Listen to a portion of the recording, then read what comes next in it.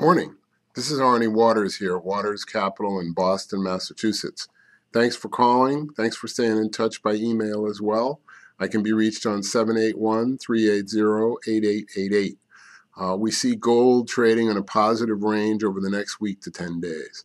Uh, we are seeing uh, the uh, president uh, attempting to make some noise on behalf of his jobs program. Let's talk about a jobs program that actually would get some people to work in high wage jobs.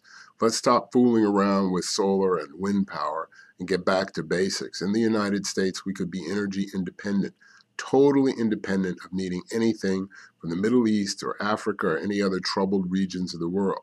Let's develop our own internal uh, oil and gas uh, methods. Let's be careful about the environment, but let's also realize that the biggest problem in our environment right today is economic.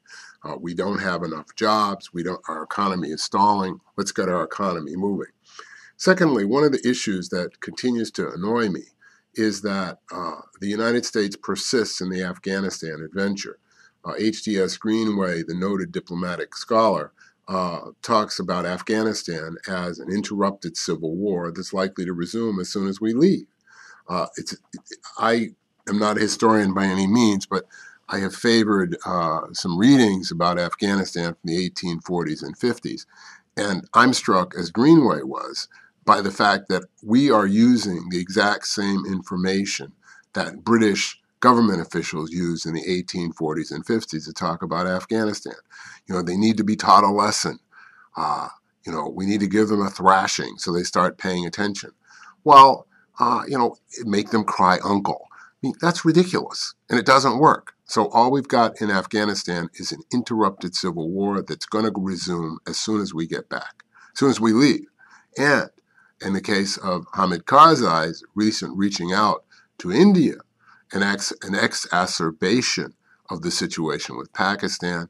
We will see in Afghanistan uh, not only the Pakistani Secret Service, but the Indian Secret Service, and using Afghanistan, as they have for many years, uh, as a, uh, a sideshow for their own gigantic struggle on that subcontinent. Uh, the credit default market is trading as if China is likely to have some very serious problems. It's very important to realize that one of the uses of the CDS, the credit default swaps, is to uh, determine risk. And so when we're seeing the risk coming on in terms of China, we're seeing the reality that so many parts of the Chinese situation are quite fraudulent and that they are going to have some real economic difficulties. Remember, months ago, thanks to a client, we were talking about ghost cities. We're now discovering that this gigantic rail system that they built for billions of dollars, they can't use it because they stole the technology for the signals and now they don't know how to operate the signal system. So, what's going to happen to all that billions of dollars? We talked about ghost cities, giant cities housing for 500,000 people, totally empty. I mean, so the Chinese situation is shot through with fraud and bad, bad practice, which is not surprising given that they're trying to meld communism and capitalism. That doesn't work. Lastly, we want to comment on gold. Uh, you know, we're seeing gold miners preserving their high margins. Uh, some of the reports from last winter, they were as high as $700 an ounce. Gold miners are going to continue to make money. So this is Arnie Waters, I'm not going to close yet. I got to talk about the Red Menace.